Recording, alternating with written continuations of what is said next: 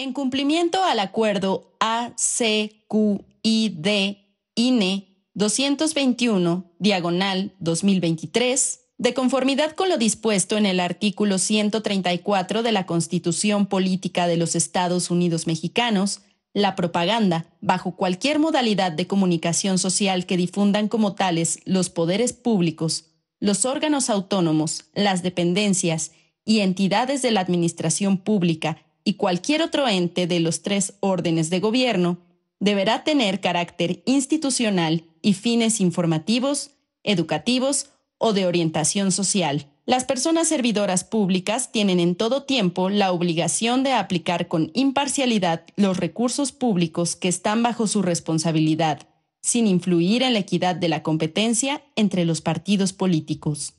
Instituto Nacional Electoral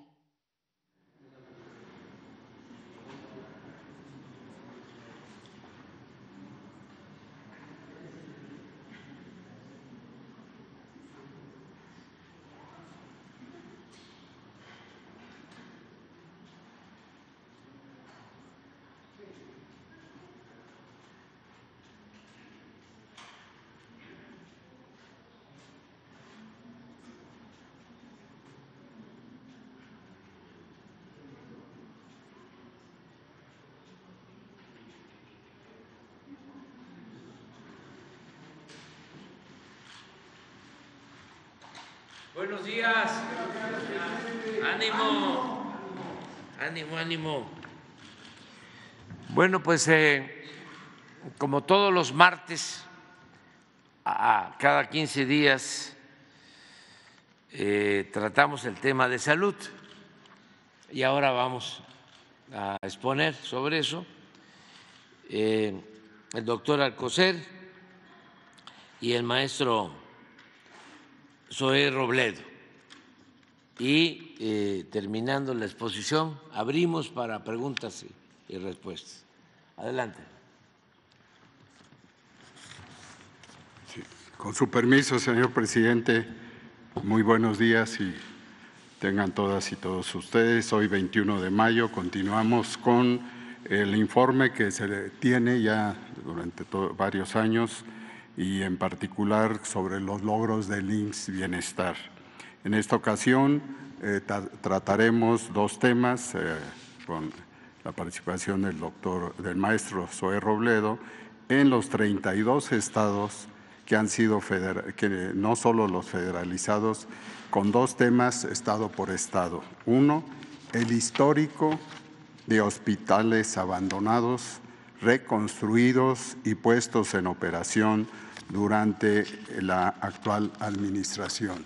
Y el segundo tema eh, eh, se informará del avance de la convocatoria de contratación de personal de enfermeras y enfermeros que, em, eh, son especialistas.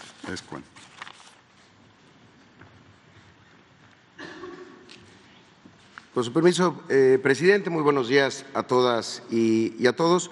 Hoy presentamos, como lo ha dicho el doctor Alcocer, los avances del IMSS Bienestar con un tema que es fundamental, la puesta en operación de hospitales que al inicio de la administración estaban abandonados, inconclusos, emproblemados, sin equipamiento o sin eh, plantilla suficiente, lo que al final de cuentas para la gente significa lo mismo, porque es un hospital que no está haciendo operaciones, que no da consultas, que no ofrece estudios auxiliares de, diagnóstico.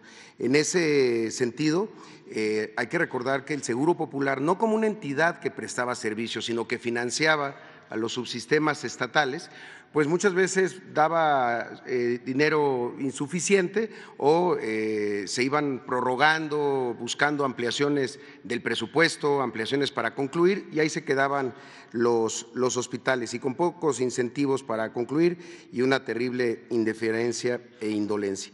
Ahora vamos a presentar la, eh, de los, un repaso por todo el país, estado por estado, poniendo un ejemplo emblemático que en los estados son muy conocidos de hospitales que estaban eh, sin acabar y que se pusieron en operación. En algunos casos se pusieron en operación gracias a la federalización, es decir, los estados pasaron a Bienestar y eso permitió acceder a recursos del Fondo de Salud para el Bienestar que eh, destinaron a la conclusión de los hospitales. En otros casos son hospitales que, a pesar de que se habían hecho para las secretarías de salud de los estados por Seguro Popular, eh, fueron rescatados y están puestos en operación por parte del Seguro Social y también algunos que, está, eh, que se están construyendo actualmente también por parte del ISTE. En total son cerca de 90 hospitales eh, adicionales a los que ya se tenían al inicio de la administración. Vamos viendo estado por estado. En Aguascalientes, por ejemplo, la construcción del Hospital de Especialidades Miguel Hidalgo, un hospital regional de alta especialidad, inició en octubre del 2008, pero como lo decía, eh, por falta de recursos, fue abandonado durante 13 años. Ahí estuvo el hospital en Aguascalientes. Incluso un informe de la Auditoría Superior de la Federación evidenció que el costo de la construcción había tenido un sobreprecio en los periodos de 2006 a 2010.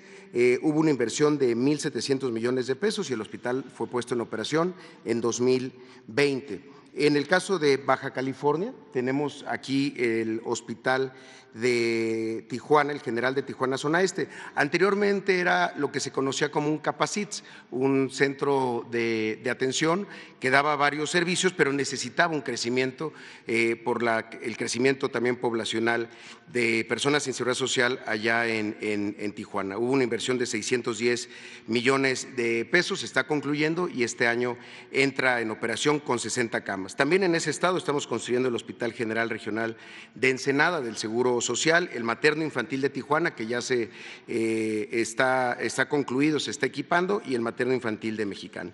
En Baja California Sur, también otra de estas historias, eh, había un centro de salud con servicios ampliados en, en Mulegé, en Santa Rosalía, para ser más precisos, una zona muy apartada y donde si no se tiene atención por parte de una institución pública, pues eh, lo que queda es la carretera y tomar eh, camino. Entonces se inició eh, desde 2022 la ampliación de este hospital, desde 2018 había iniciado, hubo problemas con diferentes empresas, de estas empresas constructoras que tienen más abogados que ingenieros, pero afortunadamente eh, tuvo un apoyo por parte del gobierno federal de 183 millones de pesos para concluir este año este tan anhelado hospital de Santa Rosalía en Mulegé.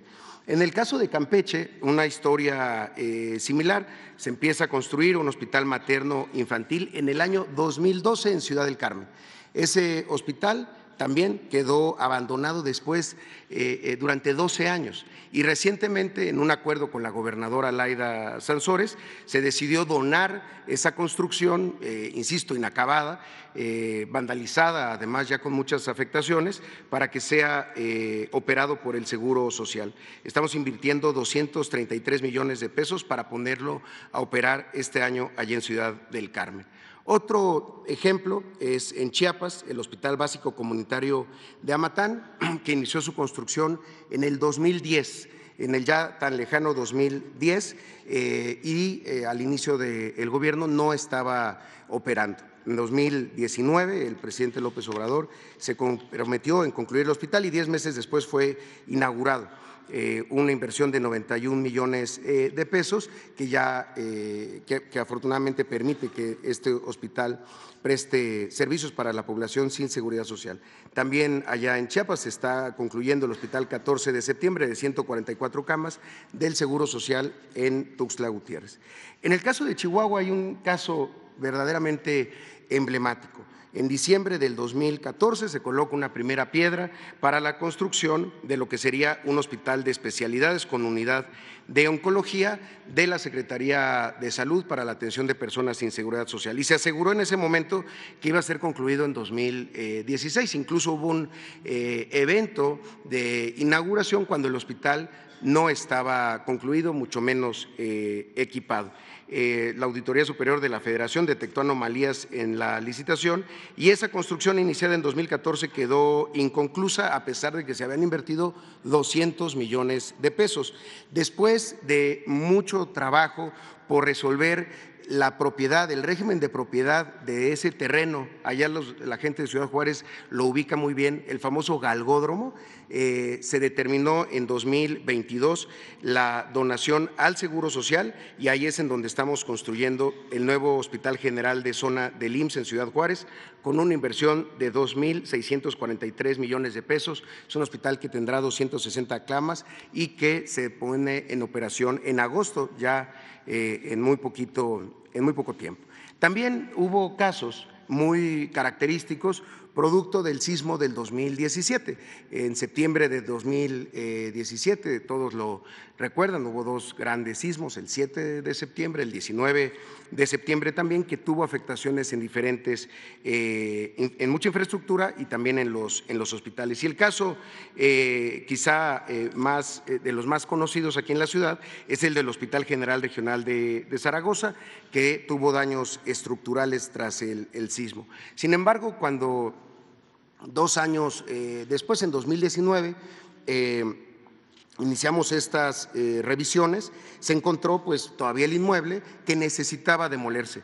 La demolición es una obra bastante compleja y para eso llamamos a los mejores, los ingenieros eh, militares, para que se hicieran cargo ahí en Iztapalapa, eh, al lado de la avenida Zaragoza, un lugar que seguramente todos conocen, que necesitaba hacer la demolición y luego la construcción del hospital con guardando todas las medidas de, seguridad. Eh, actualmente esta inversión es de 2.433 millones de pesos, un hospital de 190 camas que se espera su conclusión en septiembre de este, de este año. También se pusieron a andar muchos otros hospitales que tenían problemas jurídicos, como el de Coajimalpa, aquí en la ciudad. Se construyó otro hospital ligero en Tláhuac por parte del Seguro Social, el Hospital General de Topilejo, y estamos trabajando en la unidad de atención médica de La Pastora.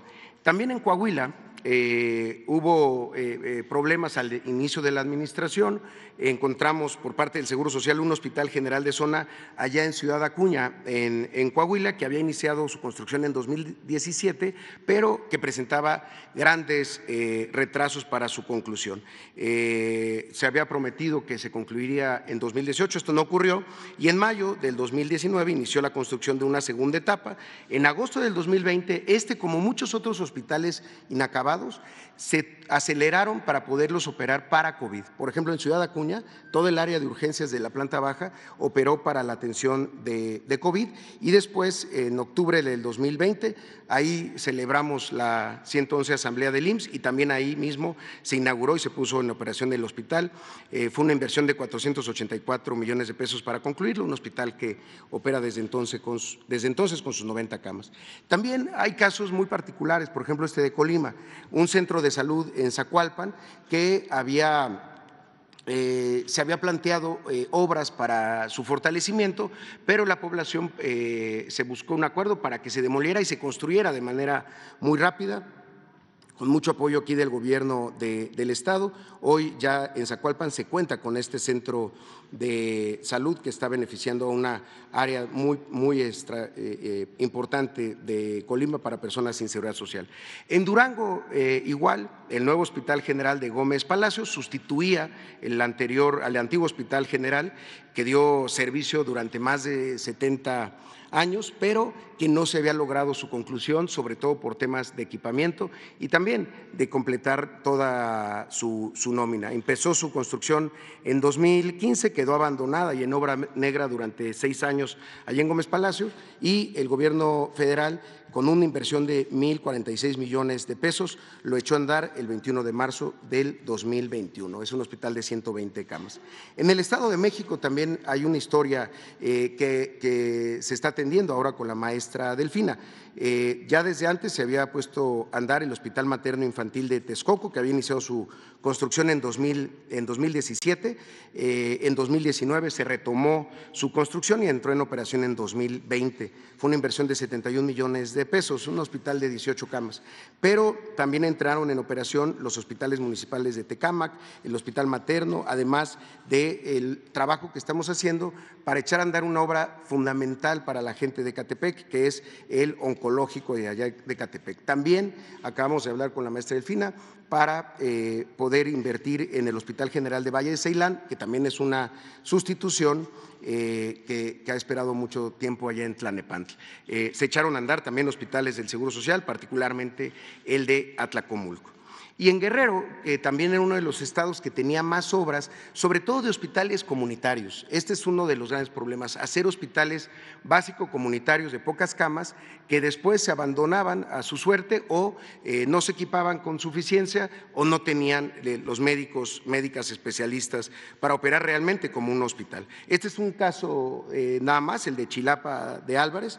Inició su construcción en 2014, abandonado durante seis años, fue puesto en operación en marzo del 2020 para atender la, la pandemia y el 17 de mayo del 2022 se inauguró ya por la gobernadora Evelyn como parte del proceso de reconstrucción de hospitales abandonados la entidad, allá en, en, Guerrero. Pero no es el único, también se concluyeron el hospital de Tecpan de Galeana, el hospital de Petatlán, el de San Luis Acatlán, el de Marquelia, el de Olinalá y actualmente se están construyendo los hospitales del IMSS Bienestar en Tlapa y el hospital del Liste en, en Acapulco.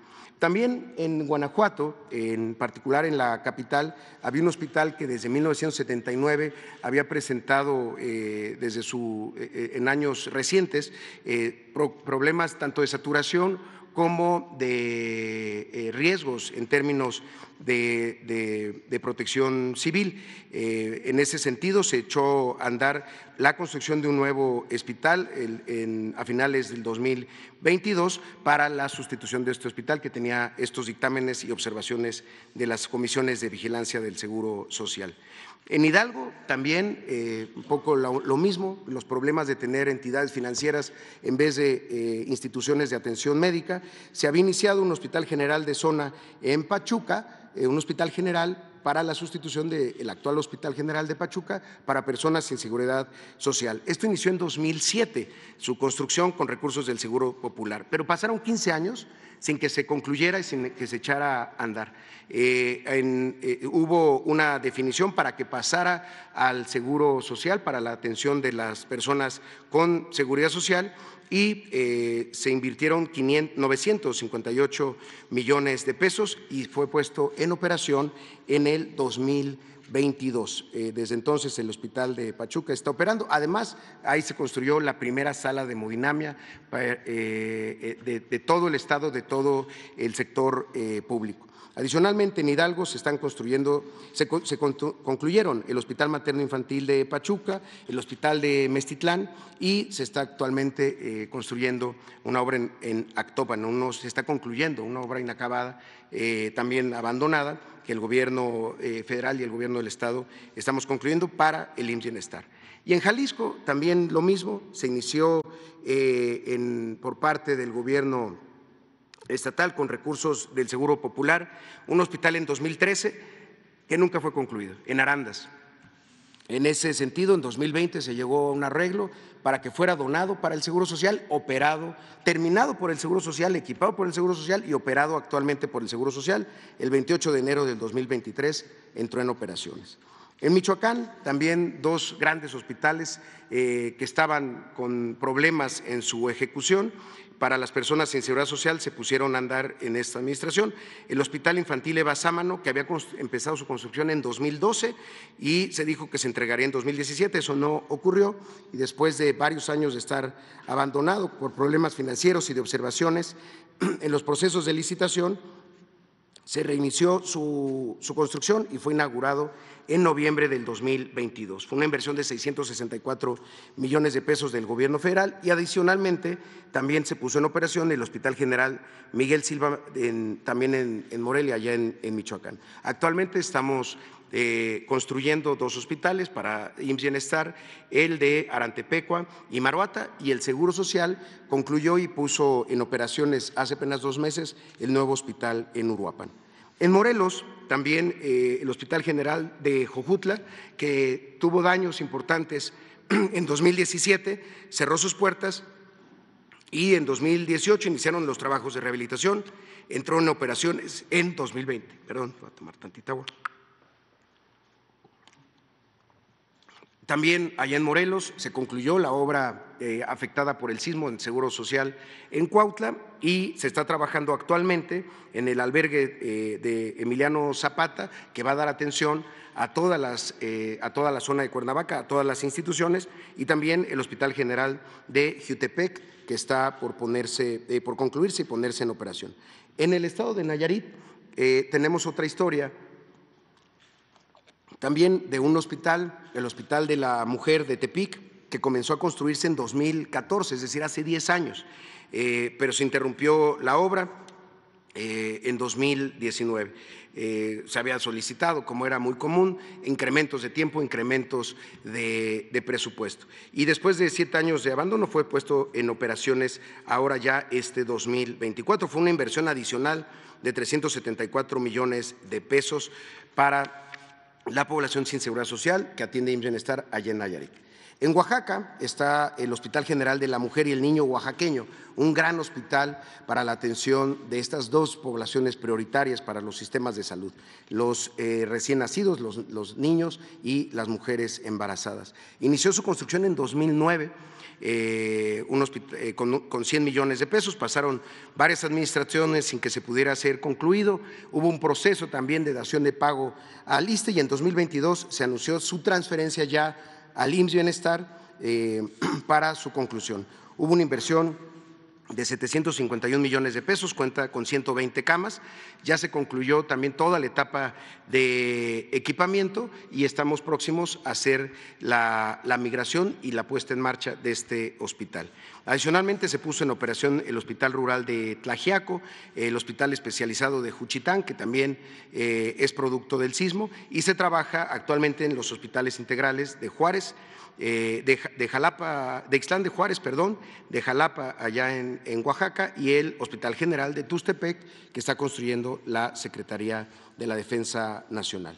En el caso de Puebla, el Hospital General de Zona de San Alejandro, del Seguro Social, otro hospital que había tenido daños eh, producto del sismo, eh, lo que se había definido en aquel momento era comprar otro hospital inacabado, eh, privado, que había estado en abandono durante casi 10 años, conocido como CIMA, que después resultó que no iba a ser apto para ponerlo en operación.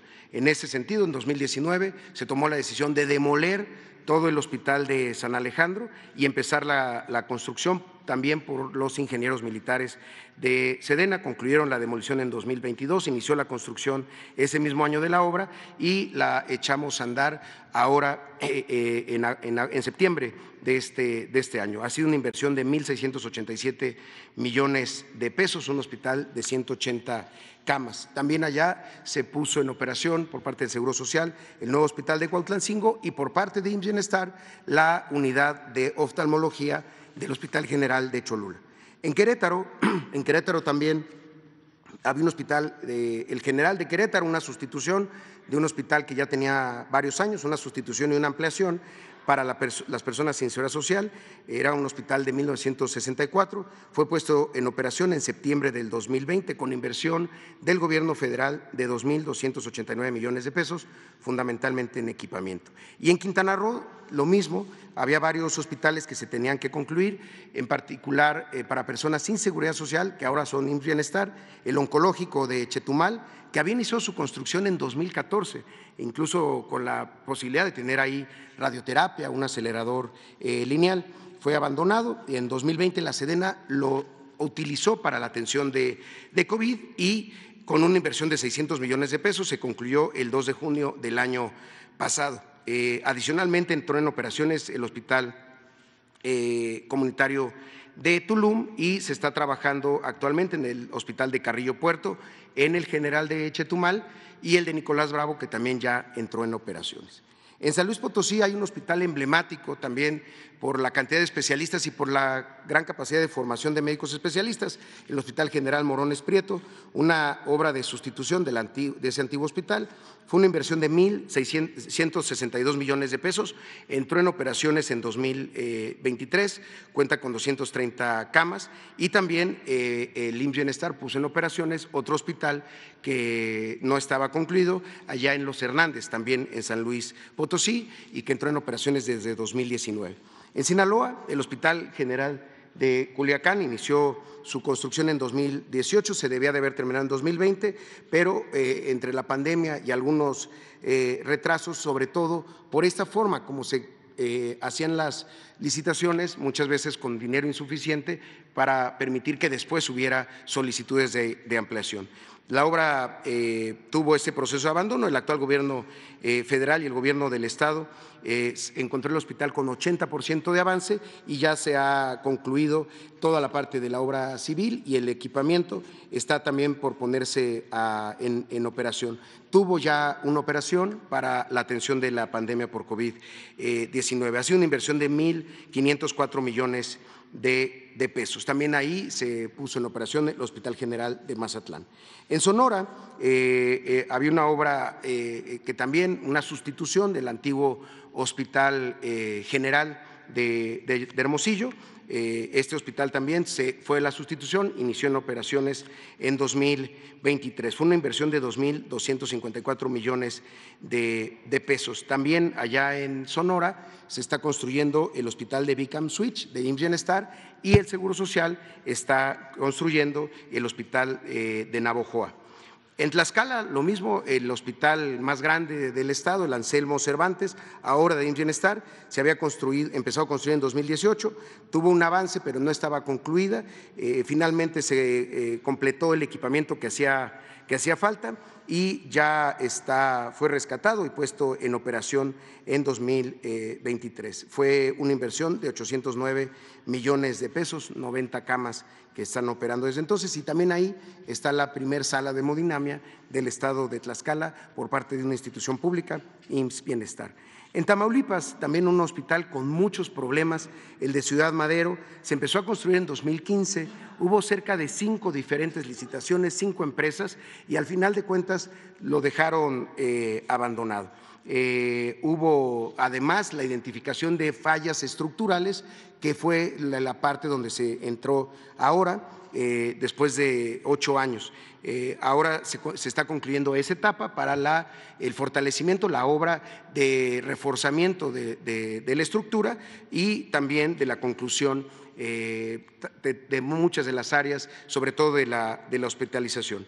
También se está trabajando y, en el hospital de Matamoros, de IMSS y en el Centro Oncológico de Ciudad Victoria, que atenderá a personas sin seguridad social.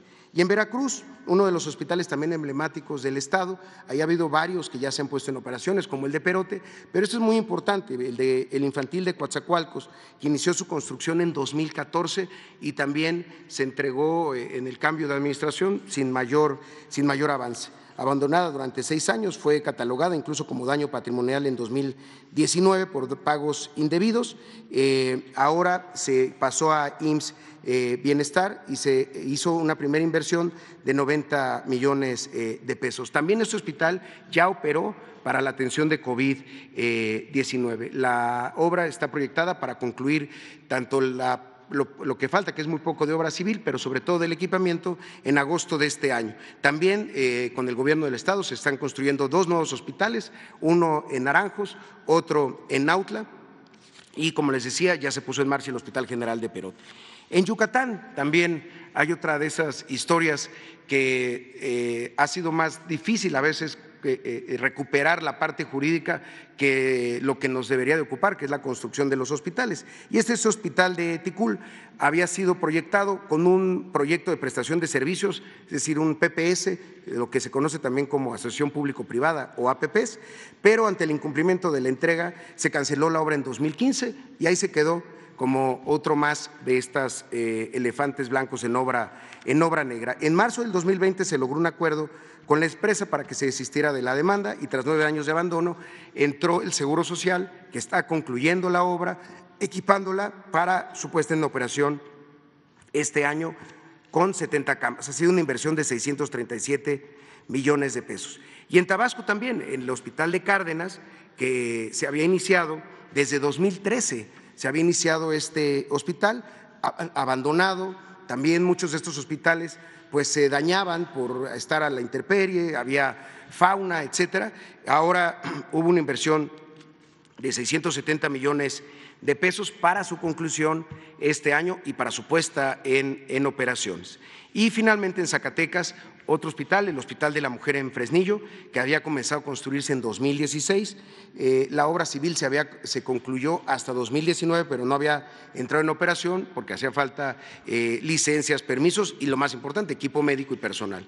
Este hospital abrió en 2020 también para la atención de COVID y se puso en operaciones por IMSS Bienestar en 2023. Fue una inversión total de 283 millones de pesos y 80 camas. Hoy ya opera de manera regular en la atención a personas sin seguridad social. También allá se está, eh, se puso en operación del Hospital Comunitario de Sombrerete, el Hospital de Extensión de Enfresnillo del Seguro Social y el Centro de Salud de Jerez de las Salinas en el que se está trabajando. Entonces, queríamos hacer un repaso. Es un número muy grande, son 90 hospitales, como les decía, tanto de los que ya están puestos en operación, más eh, cerca de 30 que se están concluyendo en estos, en estos próximos meses eh, y que muchos de ellos ya están en, etapa de eh, simplemente equipamiento o de algunas, de algunas pruebas. Finalmente, de manera muy breve, queríamos reportar, hace dos semanas lanzamos esta convocatoria de enfermera especialista. Como saben, las enfermeras eh, son auxiliares, eh, licenciadas, que luego se contratan ya como enfermeras clínicas o enfermeras generales, pero muchas de ellas hacen grupo, eh, tienen una formación postécnica de áreas de servicios y especialidad, por ejemplo, en cuidados intensivos, cuidados neonatales o eh, enfermeras quirúrgicas. Por eso, el 9 de mayo iniciamos el registro. Se han recibido 5.848 perfiles para cubrir 5.799 plazas. Pero queríamos anunciar que sigue abierta la convocatoria, tenemos todavía varias vacantes y en particular hay siete hospitales en donde estamos poniendo énfasis eh, porque nos hacen falta todavía registros. Eh, creemos que dando una buena difusión podemos contar con las enfermeras y enfermeros especialistas. Son siete hospitales, los hospitales comunitarios de Espujil, allá en Campeche, en, Macapalapa y eh, en Puebla, en Moctezuma, en Sonora, en Suchilapan eh, y en La Laguna, en Veracruz, y eh, también en, Zacatecas. Entonces, pues hacer ese llamado a enfermeras, enfermeros que quieran sumarse a el IMSS Bienestar en esta etapa que estamos haciendo especialistas. Eh, presidente, si me permite, ayer eh, hubo una pregunta sobre un tema de San Luis Potosí, solo comentar el caso que se está trabajando con el gobierno del Estado. En abril eh, de, este año, es decir, para abril de 2024, el gobierno del Estado de San Luis Potosí cuenta con 19.549 puestos de trabajo registrados en el IMSS, es decir, el, el gobierno del Estado como empleador tiene 19 mil personas con registro en el IMSS, con un salario base de cotización de 974 pesos. Todos los trabajadores están asociados a la modalidad 38, es decir, tienen el servicio de atención médica y de riesgo de trabajo. En abril del 2022 y abril del 24, durante dos años, los puestos asociados a el gobierno del Estado se disminuyeron en 13%, eh, sobre todo en febrero y marzo del año pasado.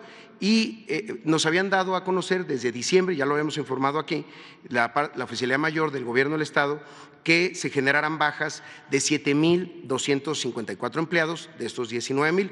Eh, estuvimos trabajando con ellos y él, en enero del 23, a solicitud del gobierno de San Luis Potosí, se hizo una reunión con el IMSS exponiendo esta problemática con algunas de las bajas presentadas. Se adquirió el compromiso con el gobernador y, eh, derivados de acercamiento, con el Gobierno del Estado durante los meses de febrero, marzo y abril desde el 2023 fueron reingresados 4.244 trabajadores que habían sido de baja durante el mes de enero del 23. Es decir, desde el año pasado ya había estado atendido para este grupo de, personas y con el, eh, el trabajo con el Gobierno del Estado, que es el empleador.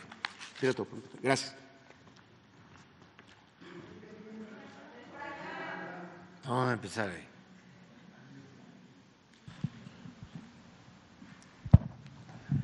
Buenos días, señor presidente. Buenos días, miembros del Gabinete de, Salud.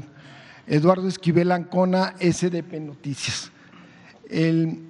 la semana pasada que vinieron las gentes de la Comisión Federal de Electricidad, me llamó la atención que en su propuesta y en todo lo que estaban invirtiendo no vinieran los gasoductos los gasoductos son muy importantes para la generación de, de electricidad en las plantas de ciclo combinado. Estas plantas eh, están ahí y pues eh, la comisión, por lo que he visto, ha hecho mucha inversión en, estos proyectos. Está eh, pues asociado con una empresa canadiense, Transcanada, ahora se llama TC Energy. Están en asociación para el gasoducto submarino, que es 4.500 millones de dólares. Entonces, ahí hay una gran inversión. No sé si usted lo va a ir a inaugurar cuando ya esté puesto en marcha.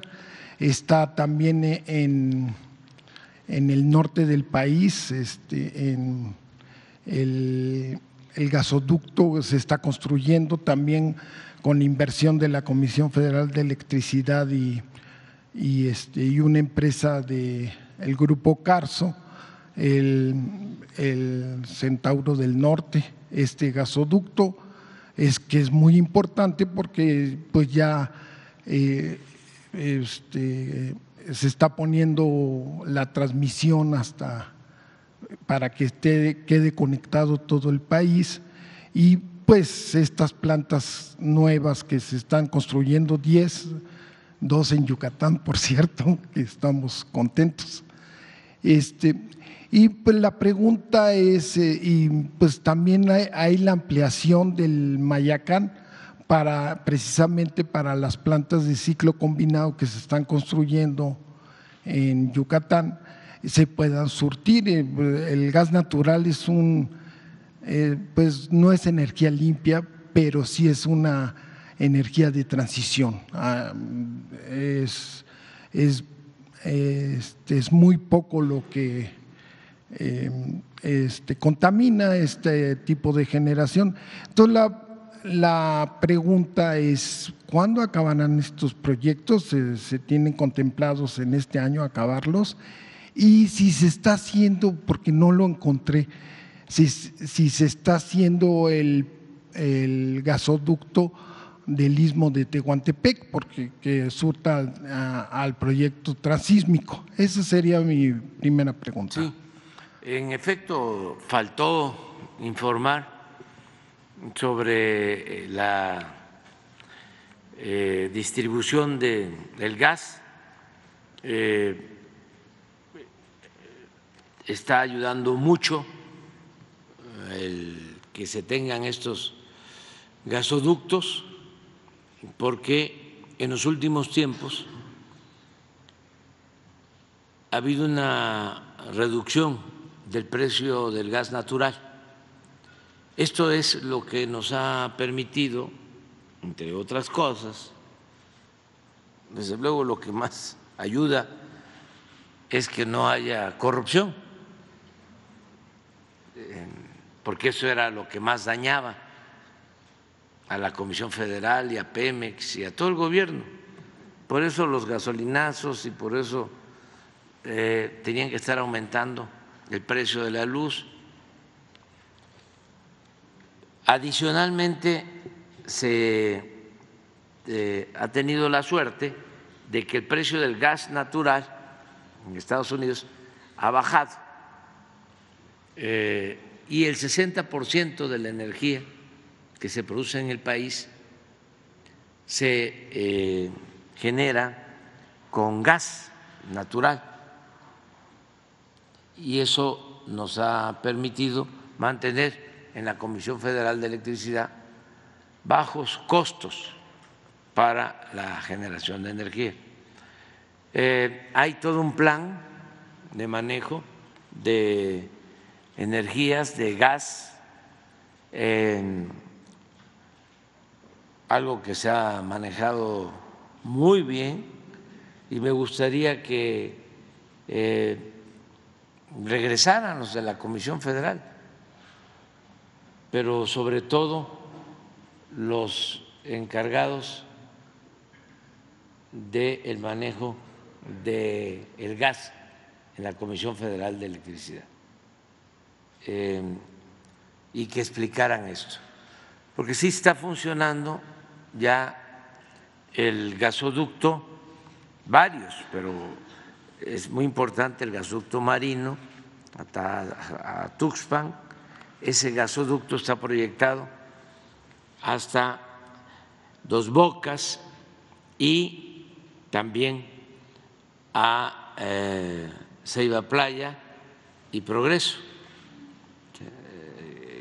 que va a permitir el abastecer a estas dos mm, plantas que se están construyendo en la península, que van a resolver por 20, 30 años el consumo de energía.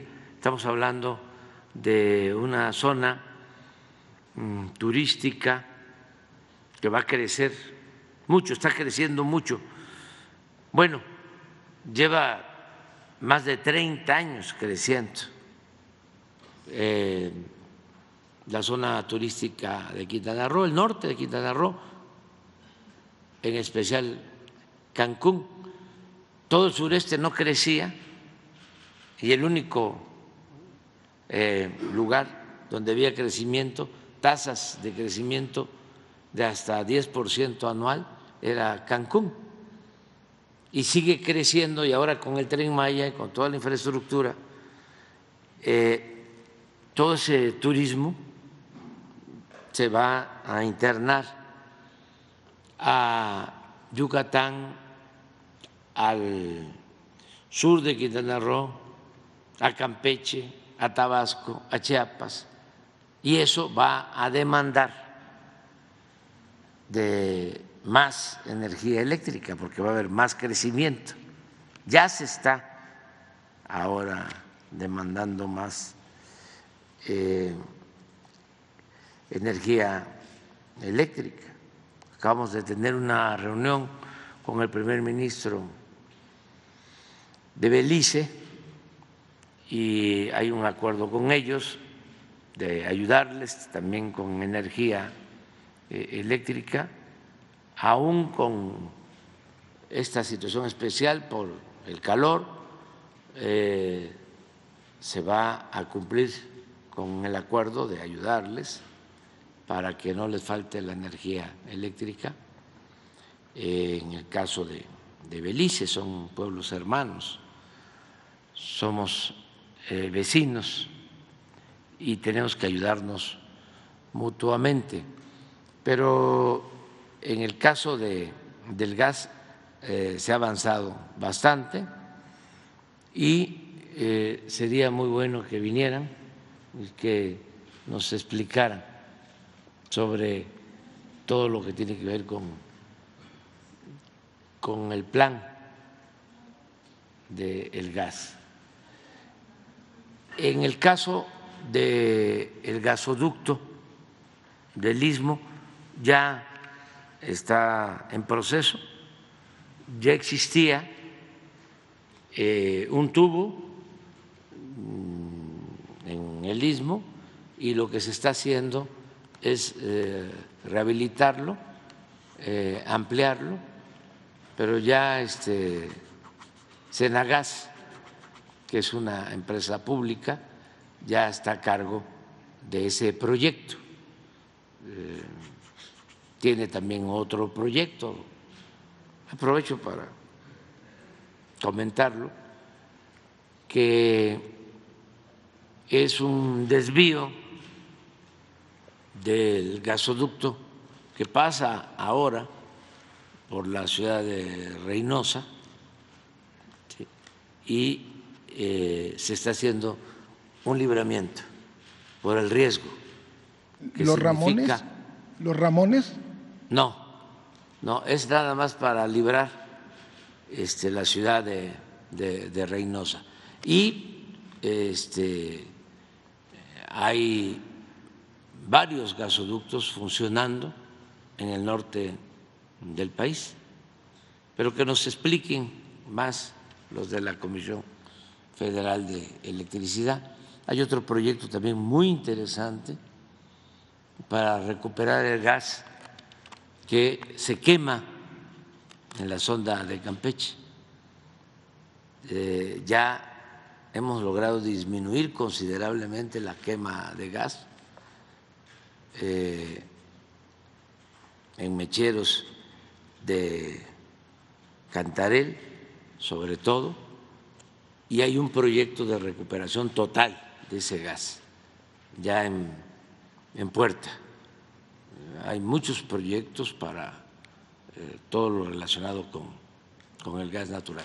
Hay algo que también debe saberse, el presidente Biden eh, prohibió la comercialización de gas eh, de Estados Unidos. Nuevos proyectos, sobre todo para exportación.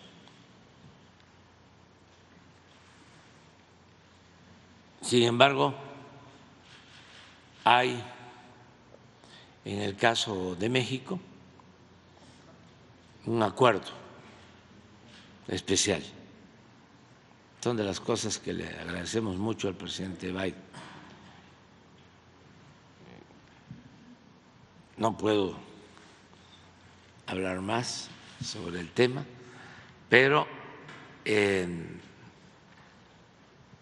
las empresas que están invirtiendo en gas, sobre todo eh, las plantas de licuefacción, las que ya se terminaron en Altamira, la que está proyectada para Puerto Libertad, en Sonora, la de Sempra, en Ensenada, todas eh, eh, tienen garantizado el abasto del gas. Son tres, estamos hablando de inversiones de más de 20 mil millones de dólares. Solo en el caso de Altamira eh, ya está terminada la, la planta y está en proceso otra. Esa sí me va a tocar inaugurarla antes de que concluya mi mandato y después de, de las elecciones. La de eh, Puerto Libertad y la de Sempra a lo mejor no, esa queda pendiente, pero ya están en proceso, tienen permisos, eh, no hay ningún problema. En otra pregunta, este, usted sabe, señor presidente, que en Nuevo León e, Hidalgo no hubo una alianza entre Morena y, y el PT y el Partido Verde. En Nuevo León están sufriendo algunas, eh, por no haber habido esta alianza, hay un foco rojo en García, porque el candidato de Morena, eh, Manuel Guerra Cavazos, ha denunciado que, este, que gente o pues, el exgobernador em, Jaime eh, Rodríguez Calderón se apoderó de estas eh, pues de los partidos del Verde Ecologista y del PT y está imponiendo candidatos, pero quiere ganar a la mala, ¿no? Eh, hay, ya hay amenazas de que se quiere torcer la voluntad de los comicios, entonces lo, lo que pide la gente de, de García es que la Guardia Nacional haga un operativo especial en ese municipio de Nuevo León, porque sí están las están patentes las amenazas de que se quiera torcer la voluntad de, ese municipio. Esa sería mi segunda pregunta. Y, bueno, ya, lo expresaste, yo tengo la limitación de no poder eh, opinar sobre eso. Nada más comentarles que sí hay eh, una buena coordinación con el INE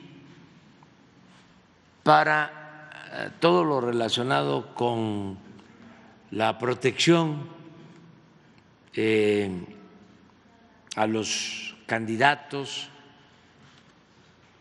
a los ciudadanos, y es a través del INI que se está llevando a cabo este plan. Ya pasa de 500 el número de candidatos que tienen protección, lo vamos a seguir haciendo, y también hay otros eh, servicios, el cuidado de la paquetería por parte de la Guardia Nacional eh, y otras eh, peticiones del INE que se están cumpliendo. Ayer hubo una reunión del Gabinete de Seguridad con los consejeros del INE y a través de ellos eh, se va a seguir apoyando para que se tenga plena seguridad, plena libertad eh, antes y durante y después del proceso electoral del 2 de junio.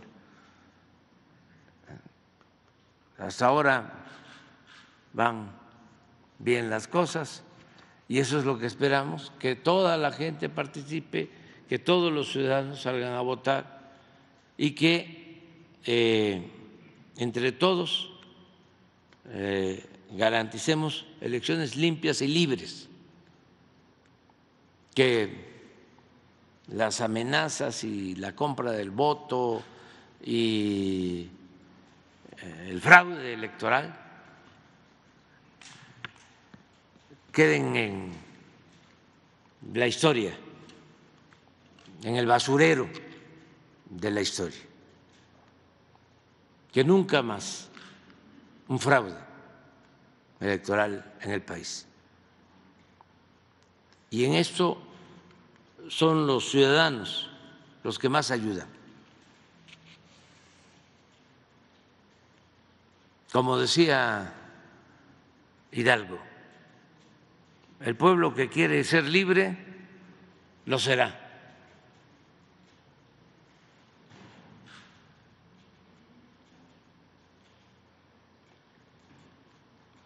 entre todos ayudar.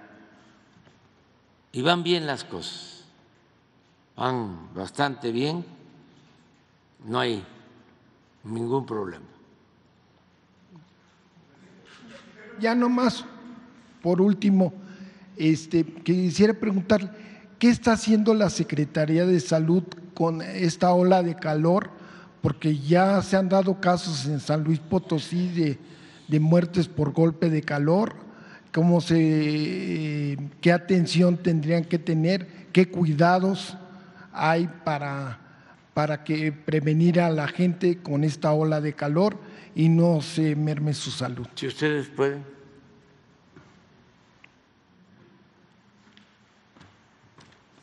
Sí, muchas gracias con su permiso, señor presidente, y gracias por, por la pregunta, porque es un buen momento también para seguir eh, comunicando a la población de si en efecto esta, esta ola de calor y que se expresa pues, en varias entidades, desde la Secretaría de Salud Federal, en colaboración con todas las instituciones, eh, tanto federales como locales y los gobiernos locales, se lanzó una campaña intensiva de comunicación de riesgo que ha estado tanto en radio, en televisión, en las redes, para comunicarle a las personas eh, pues, los cuidados generales que se debe tener eh, para, para prevenir esta ola de calor que representa un riesgo de deshidratación importante para muchas personas, principalmente es no la exposición limitada al, al, descubierto eh, en el sol, siempre traer, tratar de, traer o cubrirse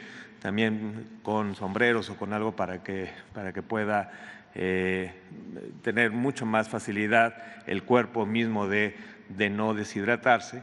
Y, lo que se ha hecho también es en todos los centros de salud y también en unidades ambulantes en, en, algunos lugares tener puestos de hidratación, que esa es la otra cosa en la que Secretaría de Salud, tanto federal como estatal, han estado haciendo en cada una de las entidades. Entonces, y tenemos sí una vigilancia estrecha, los casos de San Luis, eh, también ha habido otros casos aislados en otras entidades, tenemos un sistema de vigilancia donde nos permiten tener no solamente los casos, casos graves, sino también casos de hidratación que se están teniendo en cada, en cada una de las entidades y lo estamos vigilando estrechamente en el sistema de vigilancia.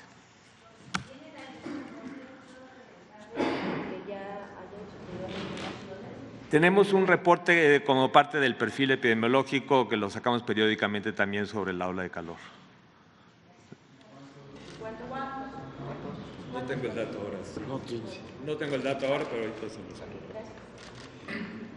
También decirles que eh, ayer fue un día de mucho consumo también de energía eh, y afortunadamente no hubo suspensión del servicio eléctrico. Ahí vamos, avanzando. Dicen algunos que, este, que eh, es eh,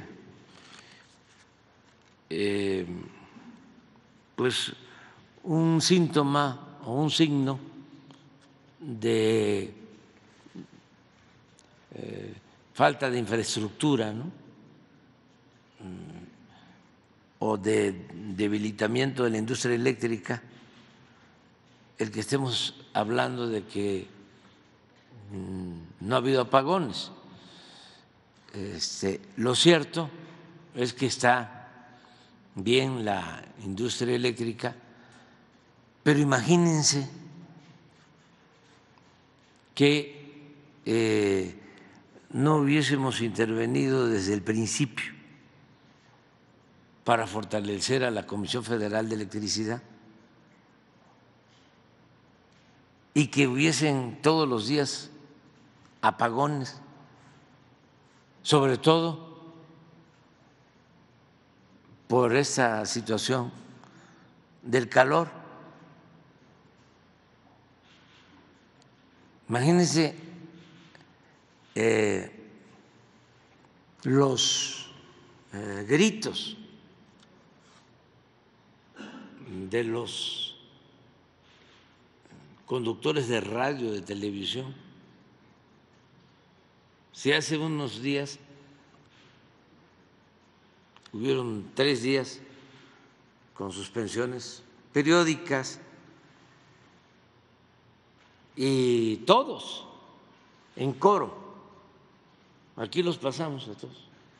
Lore de Mola, Ciro, los de Televisa, Radio Fórmula, todos, todos, todos, todos. Entonces sí eh, tenemos que hacer el reconocimiento a los trabajadores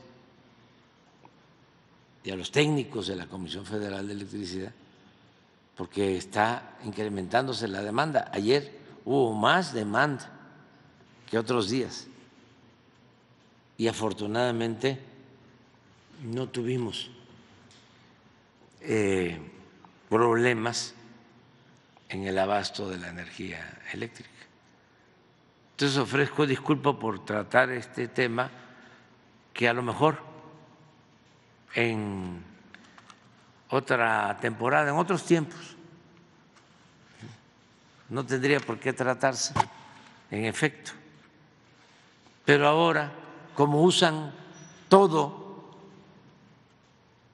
además eh, están aplicando eh, no solo la máxima de, de Goebbels, de que la mentira, si se repite, ¿no? puede convertirse en verdad. Ya es la máxima de este señor el que tiene su programa de Alarraqui, que dice, no, hay que mentir. ¿Por qué no lo pones? Porque eso es lo que están haciendo. sea, ya, ya, ya, ya, ya, ya, ya, ya. No anden con pruritos. Hay que mentir, mentir, mentir, mentir, mentir. Todo es permitido. El fin justifica los medios. Mentir, mentir, mentir, mentir, mentir. En eh, narcocandidata, narcopresidente, sin pruebas, de nada. Porque hay gente que no tiene escrúpulos morales de ninguna índole y están muy molestos los conservadores, ya lo hemos hablado, porque son muy ambiciosos. Los obnubila el dinero.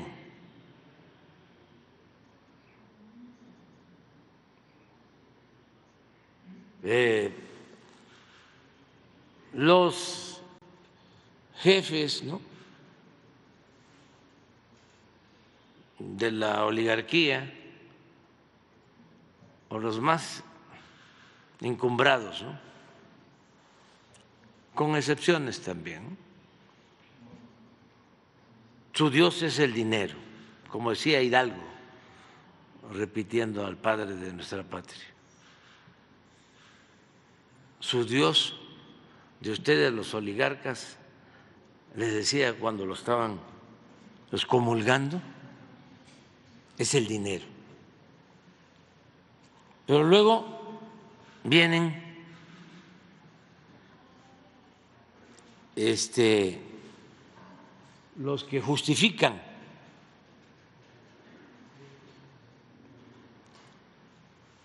la corrupción, el saqueo, que son lo mismo o viven también de eso.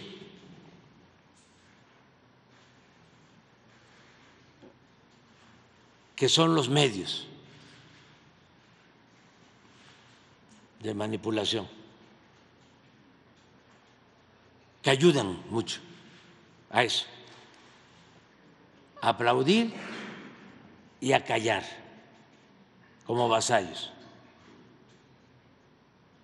Porque la prensa, ya lo hemos dicho, no solo en México, en el mundo, no tiene como propósito fundamental informar con objetividad, con profesionalismo, sino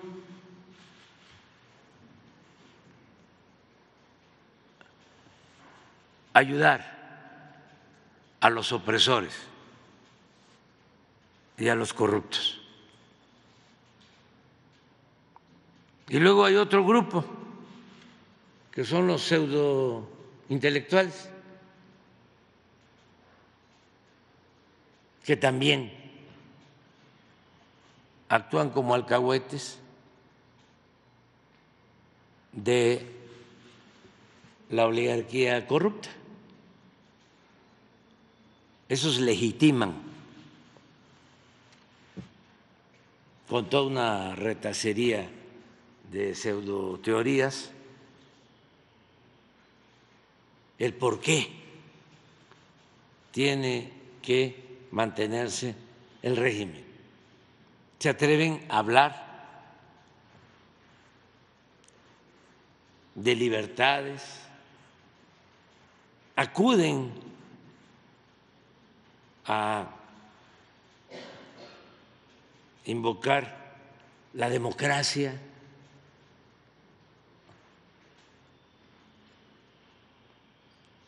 Y todos ellos, o la mayoría, también para no generalizar, al servicio del régimen, vendidos o alquilados.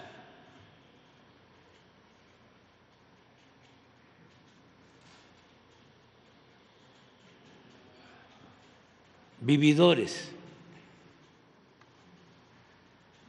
al servicio del régimen de opresión. Aparentemente académicos, estudiosos, pero nunca defienden al pueblo.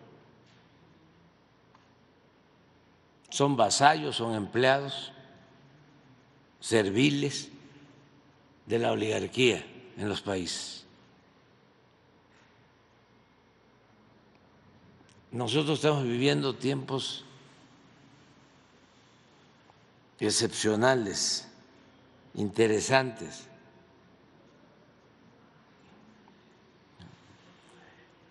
momentos estelares en nuestra historia, porque están cayendo máscaras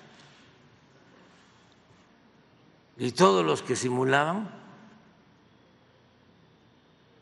se están descubriendo tal cual. Qué cosa tan importante ha sido el inicio de esta transformación.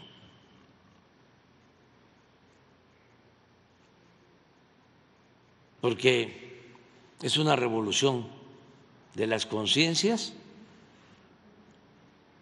pero al mismo tiempo ha sacado a flote el clasismo, el racismo. El otro día escuchaba yo a alguien, pero de buen nivel, no puedo mencionarlo porque tiene que ver con los procesos electorales, pero hablaba de morenacos No, no, no, yo no. Morenacos.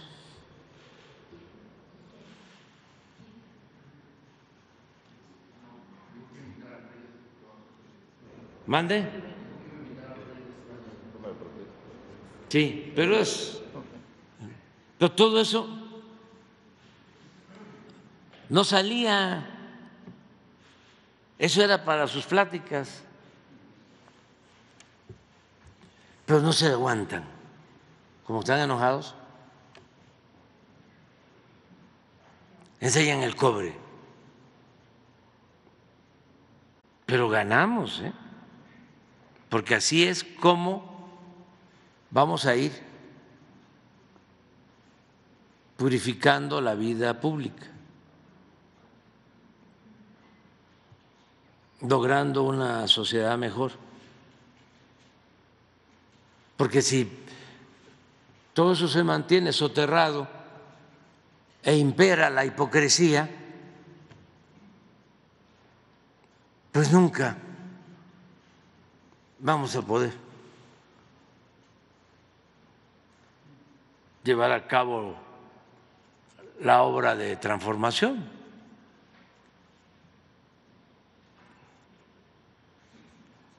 Ahora ya no se puede mediatizar, que era lo que hacían muchos pseudointelectuales, engañaban que eran independientes.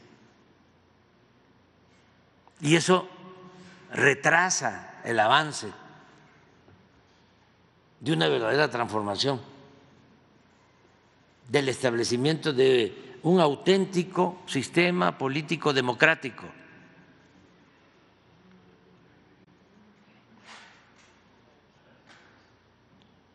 Ahora no. Por el calor brota la ruda franqueza. Y nos conocemos mejor. Nada más es cosa de respetarnos y que cada quien de manera libre, ¿no? Este,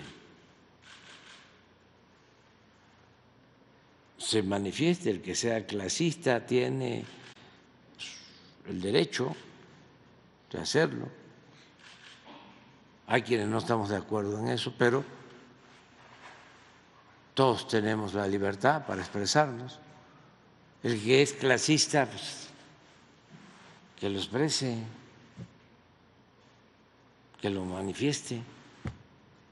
Nada más que hay quienes pensamos que ni siquiera hay razas.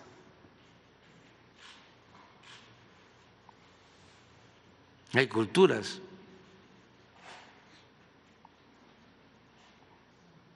El que se sienta de sangre azul, de la moronga azul, está en libertad.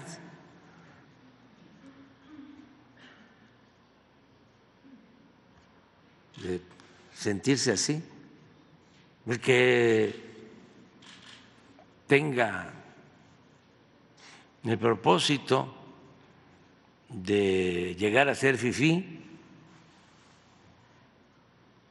también, ¿quién se lo puede impedir? Nadie, somos libres. Y el que quiera, pues, actuar con rectitud, con integridad, con honestidad, sin hipocresías, pues también. Y no pelearnos, nada más. Y yo aconsejaría que este, esto nada más por la experiencia, cuando uno se enfrenta a quienes este, defienden dogmas o son fanáticos, es muy difícil cambiarlos. No anden insistiendo. Y más cuando se trata de quienes defienden privilegios.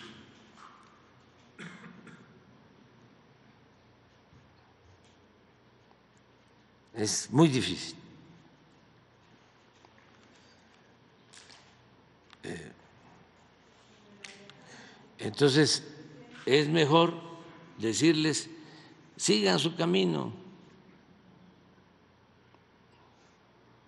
Adelante. No enfrascarnos en pleitos ni nada. No tiene caso. ¿Cómo está lo de eso de mentir? ¿Qué es lo que están aplicando? Pero no fue el que lo dijo. Yo tengo una sensación que es terrible, y pinches tabasqueños lo son. Yo tengo una sensación que es terrible. Y pinches tabasqueños.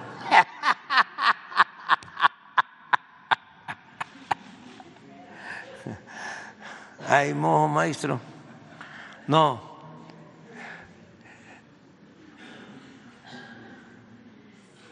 Mi hermano que se llama Carlos Alarraqui. Él es un genio de la manipulación de la información. Como no me contrató nadie, así que lo puedo decir con una tranquilidad. Yo tenía la solución. Esta campaña no se gana con, publicidad, se gana con propaganda. Y mientras más mentiras des contra Morena, mejor te va más. Eso es. Eso es. Eso es. Muy bien. Adelante.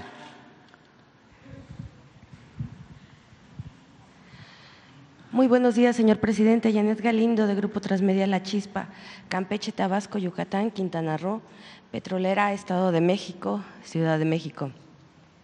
Eh, señor presidente, hablaba precisamente usted eh, hace unos momentos de la reunión que se dio ayer eh, del Gabinete de Seguridad con el INE.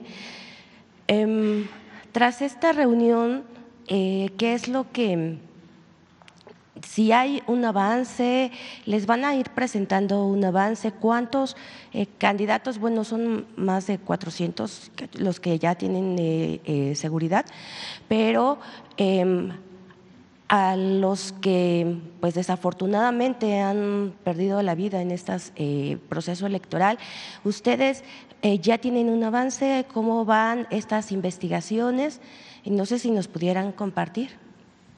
Sí, Creo que el martes próximo, que le corresponde a seguridad, les van a hablar de eso. Em, me informaron hoy en la mañana sobre las preocupaciones de los consejeros del INE, de los consejeros del, del INE acerca de ciertas regiones. Se habló, por ejemplo, del caso de Chiapas. Chiapas, ¿sí? Jalisco. Y, este, ya les explicaron los del Gabinete de Seguridad a los consejeros del INE lo que se está haciendo. Se les informó ampliamente. Y este y yo creo que el martes pueden eh, los integrantes de seguridad informarles aquí a ustedes. Pero sí se está trabajando de manera conjunta. Coordinada. Este, y en las regiones donde eh, se considera que pueden haber más riesgos. Eso este, el martes se los podrían explicar para que este, actuemos pues con profesionalismo, ¿no? O sea, para no estar este, especulando. O puede ser que hoy que den a conocer algo, ¿sí? Sí, para que no, no esperar hasta el martes. Sí, sí, sí, sí, un informe. Un corte informativo, Sí. algo así. Ok. Sí. Ok. Em, en otro tema, eh, ayer eh, iba a tener usted una reunión con gobernadores eh, respecto al sistema de salud. eh, no sé si nos pudiera comentar qué fue lo que adelantaron, eh, que avanzaron. Avanzamos bastante. Tiene que ver con lo que aquí expuso Zoe.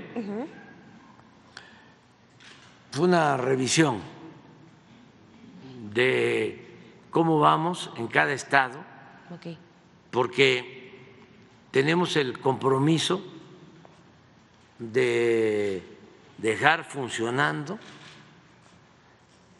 el sistema de salud pública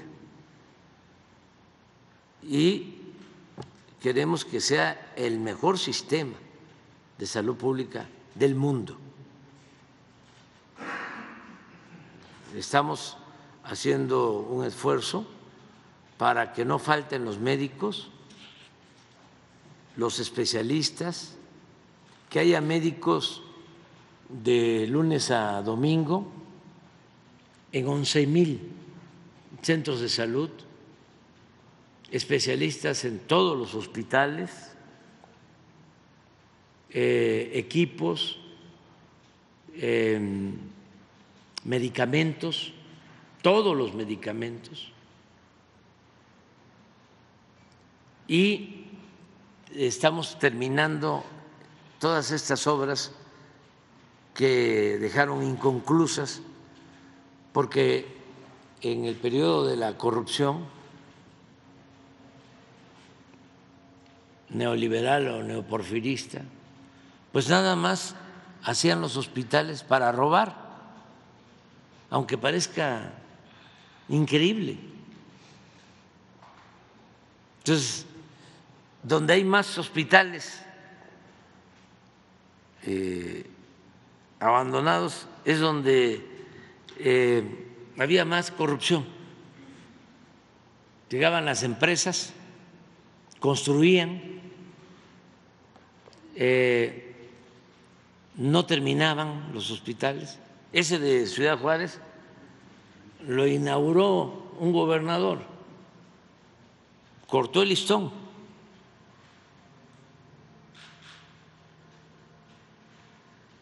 cuyo nombre es preferible olvidar, este cortó el listón y estaba en obra negra. Porque lo único que les importaba era el contrato, relacionarse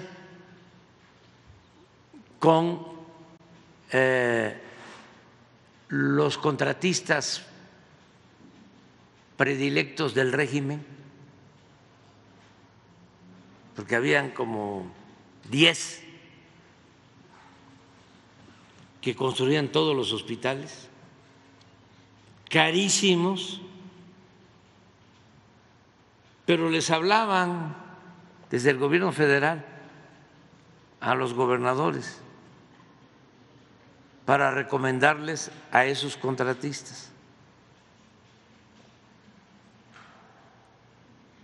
Un hospital, pues eso lo saben los especialistas, no es nada más la obra civil, no es la construcción, otro tanto es el equipamiento y desde luego la operación.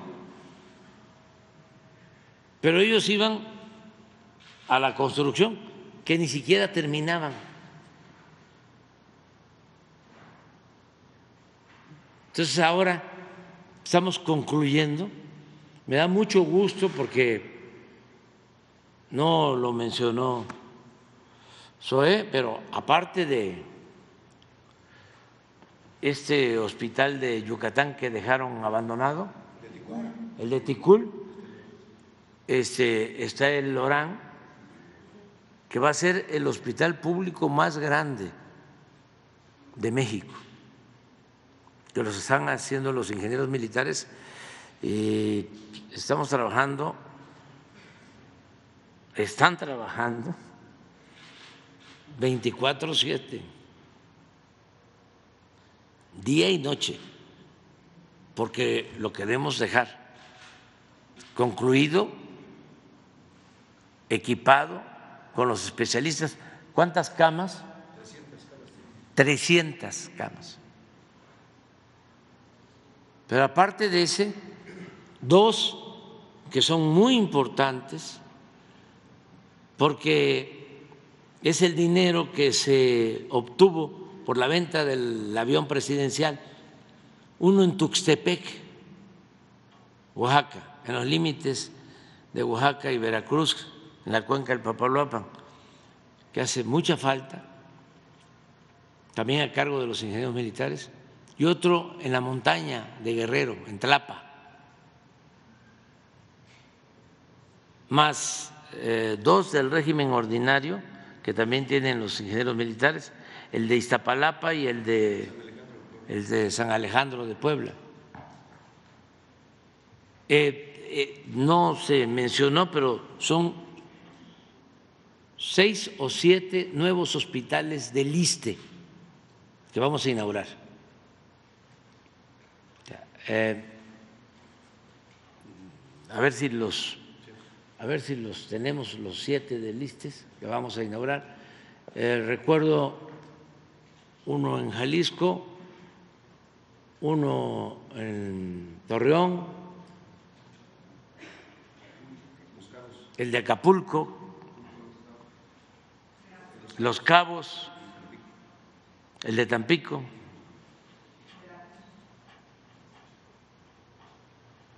Entonces, eh, estamos trabajando sobre eso y lo estamos haciendo de manera conjunta con los gobernadores.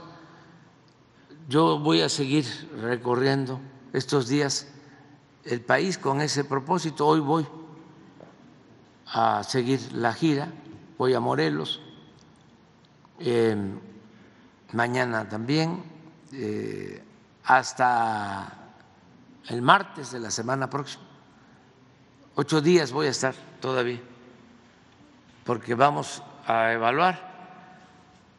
El plan es que en septiembre podamos informar.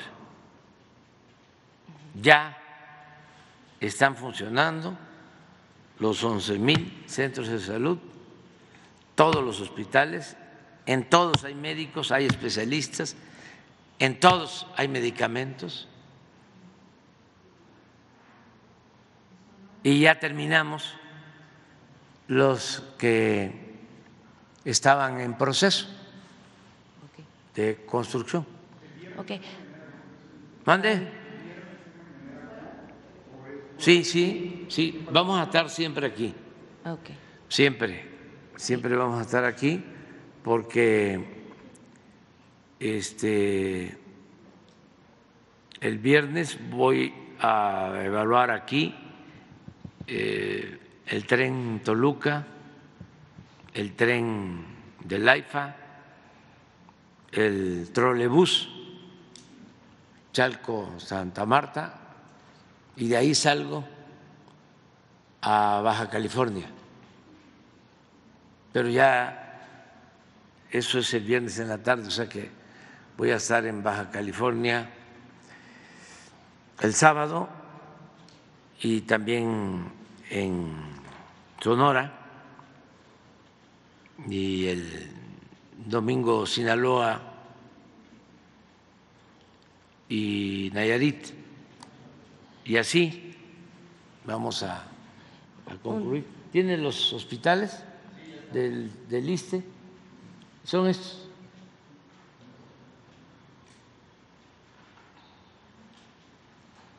Todos estos los vamos a inaugurar. Eh, ayer estaba haciendo usted un comentario de que eh, iba a haber la posibilidad, bueno, de que iban a ver que se le diera la atención a las personas eh, en el sector salud como en el ISTE.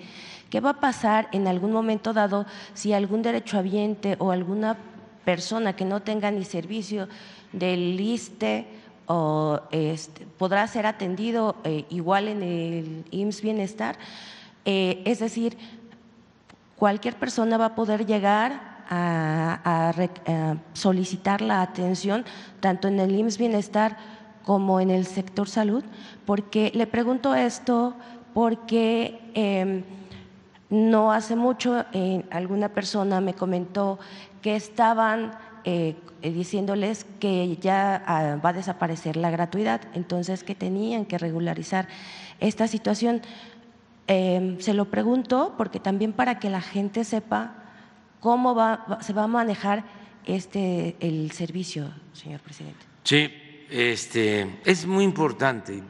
Eh, por eso estas eh, conferencias son muy necesarias, porque si no, este, pues estaríamos desprotegidos frente a la manipulación de los medios y a los intereses.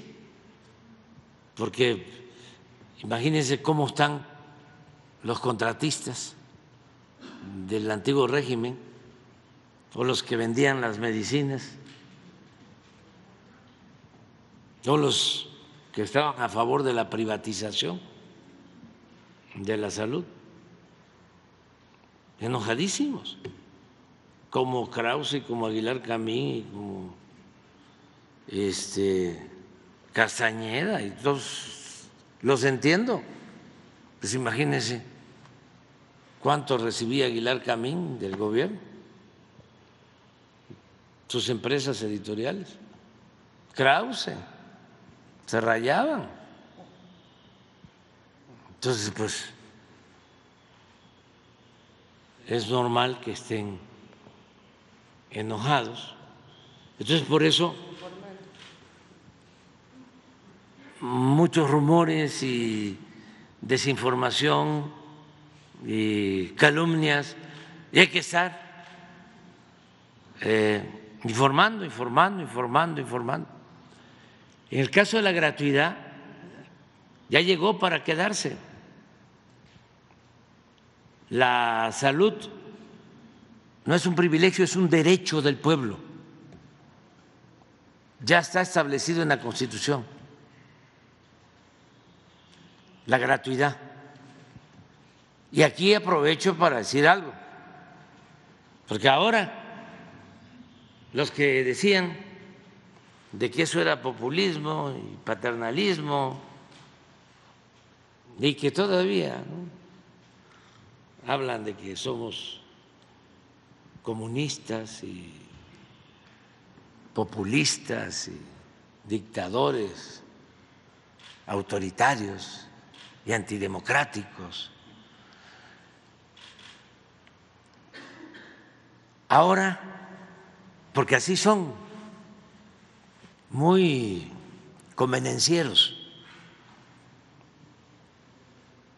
La palabra, el término, el concepto que los define muy bien Es hipocresía. Ahora que necesitan de la gente, porque creen que el pueblo es tonto. Tonto es el que piensa que el pueblo es tonto. Ahora están hablando, siguen todos los programas de bienestar. Después que estaban en contra, ahora todos los programas de bienestar van a seguir. Yo nada más quiero recordar algo.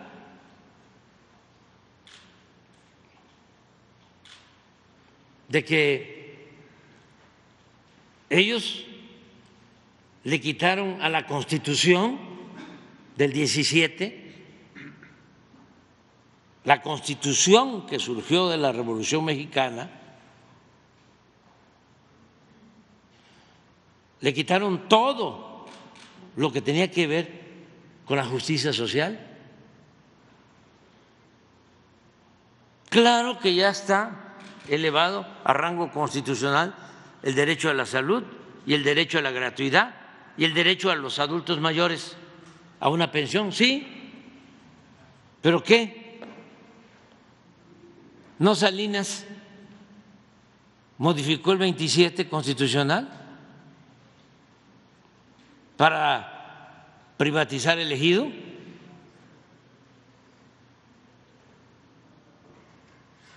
¿Que no pueden ellos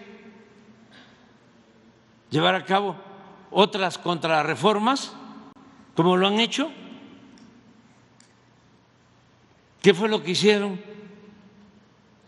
con las reformas a las pensiones? ¿No fue un retroceso?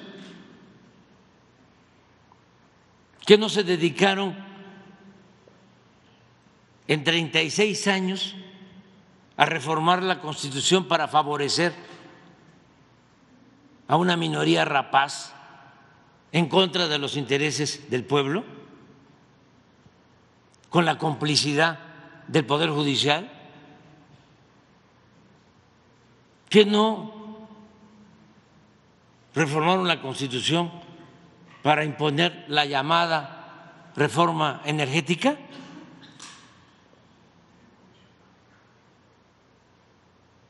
Entonces, ojo, mucho ojo, cuidado con el doble discurso, la doble moral, porque son muy cínicos. Como dicen una cosa, dicen la otra.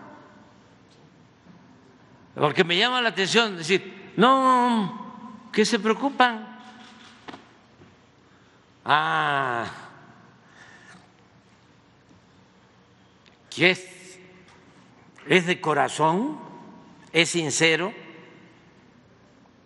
de que van a seguir apoyando al pueblo, lo que diga mi dedito. Ellos no le tienen amor al pueblo, le tienen amor al dinero. Ese es su Dios. Hablando en plata. Pero si no hablamos así, nos quedamos con las medias tintas y nadie nos va a entender.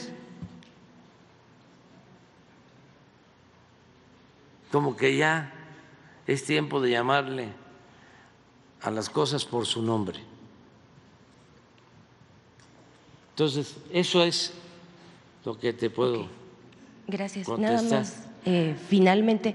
Eh, Ah, pero permíteme, ah, porque. Eh, es que yo aprovecho para otras cosas.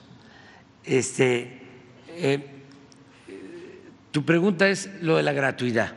Bueno, en el caso del el IMSS Bienestar, se están quitando de los hospitales las cajas registradoras. Ya no hay cajas registradoras. todo el servicio es gratuito. Y ayer hablaba yo de los institutos nacionales. Sí. Nutrición, cardiología, ya 75, 80% es gratuito. Todavía eh, sostienen, aquí aprovecho para decirle a los directivos de estos institutos, sostienen que no les alcanza y que por eso hay un porcentaje de cuota de recuperación, mínimo, pero que se está cobrando. Ya hablamos eh, con el doctor eh, Alcocer y con el director, con el doctor Terán, para que este, se incremente el presupuesto y sea 100 por ciento eh, la gratuidad. Se está haciendo la, la, la proyección, nada más que también este, me dijeron lo siguiente, ya ven que yo siempre digo lo que pienso y no me guardo nada, de que sí les alcanzaría con el presupuesto que tienen para que la gratuidad fuese al 100. Sin embargo, hay ciertas resistencias en los mismos institutos o gente que quiere aportar y que ese recurso lo utilizan para otras necesidades, que por eso es que todavía hay un porcentaje con cuota de recuperación. Yo les diría a los directivos que no utilicen ese recurso para otras necesidades que nosotros vamos a buscar la manera que no le falte nada y que sea 100% servicio gratuito. Ya estamos este, tratando este tema. Lo otro es que en las 11 mil clínicas, 11 mil centros de salud, 11 mil unidades médicas rurales, que son mucho más que las clínicas del ISTE, que las clínicas del IMSS, son 11 mil. Por ejemplo, un maestro, lo explicaba yo, que vive, trabaja en una comunidad, en un pueblo apartado, pues no va a tener cerca una clínica del ISTE, que él es derechohabiente del ISTE debe ser atendido en esa clínica. Pero ahora se va a firmar un convenio para que ese maestro, su familia, todos eh, puedan atenderse en el centro de salud. Ya, lo que es el primer nivel de atención médica. Eh, y en el caso del segundo nivel o de la hospitalización, vamos a firmar un convenio para que cualquier institución de salud atienda a todos de manera gratuita cuando se trate de emergencia, cuando se trate de infartos, cuando se trate hemodiálisis